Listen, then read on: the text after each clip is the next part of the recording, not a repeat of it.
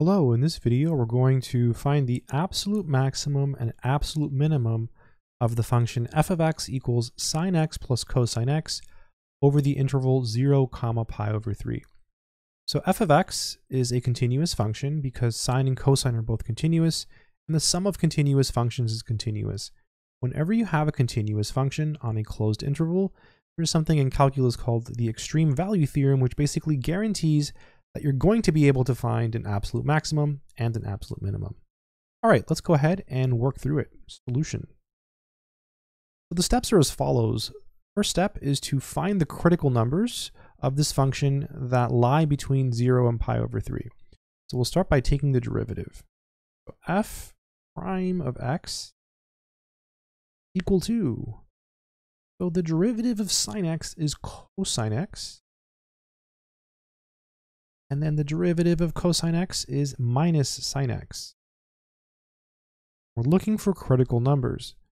Critical numbers are numbers in the domain of the function where the derivative is undefined or zero. This derivative is never undefined. Let's set it equal to zero. And basically we just add sine x to both sides and we get cosine x equals sine x. Now, this equation alone has infinitely many solutions. However, we're restricted to the interval 0 pi over 3. So let's draw a little picture over here on the left. Try to think about what's going on. So here's a picture of the unit circle. And so pi over 3 is maybe this angle right here. Okay, this is pi over 3. And let's think about uh, where um, cosine is equal to sine. Well, that's going to happen from memory. This is just from pure memory. It's going to happen at this angle here, which I'll draw in blue. This angle here is pi over 4. And that's true because the cosine of pi over 4 is the square root of 2 over 2, and the sine of pi over 4 is also the square root of 2 over 2, so they're equal at pi over 4. So this is x equals pi over 4. Note that pi over 4 is between 0, because this is 0, is between 0 and pi over 3, so it's certainly in this interval. So now that we have the critical number, which is pi over 4, what we do is we just check the critical number and the endpoints 0 and pi over 3.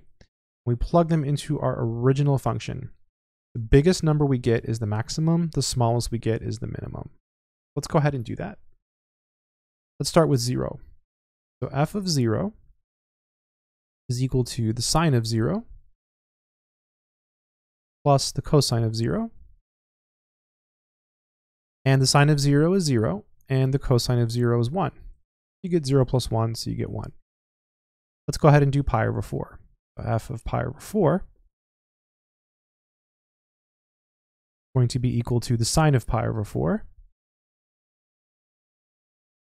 plus the cosine of pi over 4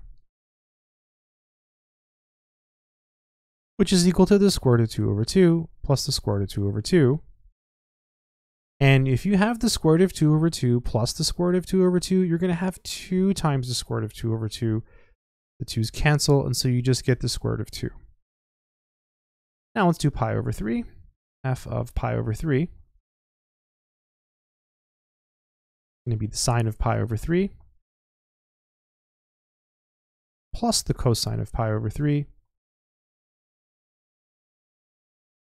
And just from memory, the sine of pi over 3 is the square root of 3 over 2.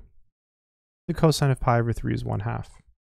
This is equal to the square root of 3 plus 1 all over 2. It will be extremely helpful to know what these numbers are in terms of decimals. So the square root of 2 is approximately 1.4.